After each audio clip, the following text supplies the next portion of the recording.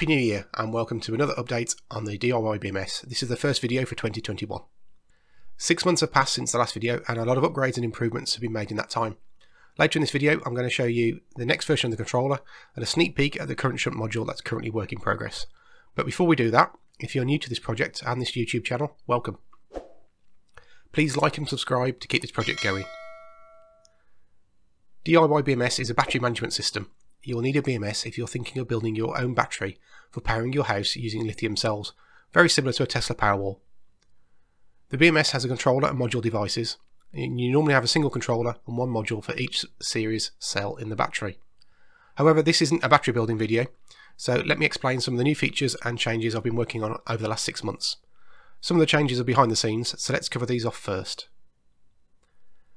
First of all, there's support for the 4MB WeMOS controller, so you no longer need to buy the Pro version. I've rewritten a lot of the code in the modules, so uh, that improves the communication and adds a lot, a lot of new features. And there's also massive improvements on the MQTT integration. Um, so that now now reports the number of banks, the cells, uptime, packet voltages, errors, status, um, and also the, um, status of the rules when they uh, fire or not. I'd like to thank uh, Daniel Romer from the uh, DIY Tech and Repair channel for his help on the MQTT changes. Uh, take a look at his channel for similar content and to learn more about battery building. So enough of the boring bullet points, let's take a look at the changes to the web interface. On the main page the graph has several improvements. Each bank now shows in a different colour and the average cell voltage is also shown.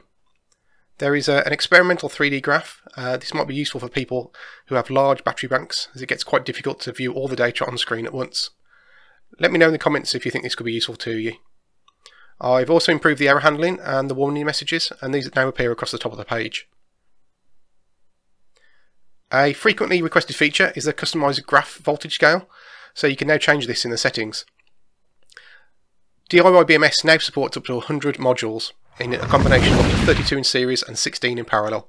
So for example, you could build a 13S7P battery using 91 modules. In multiple bank configurations, there is no longer a need to assign each module to a bank, as this is now automatically done. Each module can now count how much current is bypassed and give a total milliamp hour count per cell. This allows you to find which cells are balancing the most. You can see if the module and controllers are running the correct version of code, and a warning is shown if the versions don't match. Relay rules now have hysteresis, uh, so this allows you to set a high and low value for each rule, which help to avoid the relays from switching on and off rapidly. And a new rule is also available for monitoring the module temperatures. You could use this to drive a fan when the module is going to bypass to uh, cool it down. The code for this latest version is in GitHub at the usual address which is on the screen now. I've studied to explore the use of GitHub Actions, so hopefully in the coming weeks I can show you how to program the DIY BMS without needing to, to install the Platform IO and the Visual Studio Code systems. Uh, GitHub will automatically compile the code for us. However, for now, Please follow my previous video on how to program the controller and modules using Platform IO. Remember to reprogram all the modules, otherwise the new code won't work.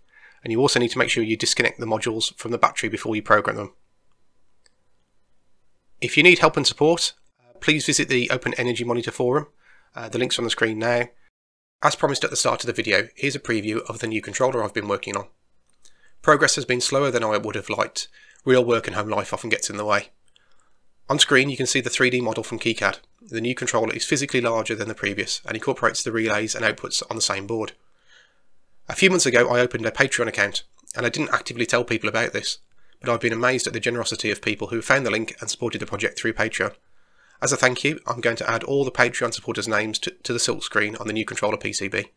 I expect the controller will be released at the end of January once I've got some more testing completed. So if you want your name on the back, please support me using the link on the screen and in the description below.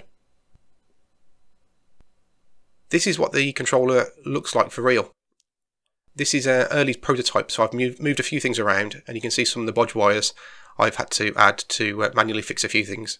But the main features are there's external power input, mechanical relays, electronic relays, an AVR ISP program interface, RS485, there's four separate inputs or outputs, uh, CAN bus support, an SD card for logging, a touchscreen, uh, TFT screen if you need it, and a RGB status LED. The controller is fully compatible with the existing cell modules, so there isn't any need to replace those. Most of the controller components are also optional, so if you don't want the screen for example, you don't have to install it. I'll do another video once the board is released with some more details. It's also designed to fit into a DIN rail case like this. The controller should make it uh, much easier to program the modules with its inbuilt programmer, uh, which is connected using a simple ribbon cable like this.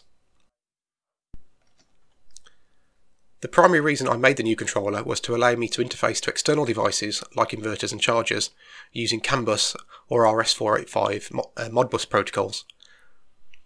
This is where the current monitoring shunt comes in. This is a RS485 Modbus device which uses isolated communications between the shunt and controller.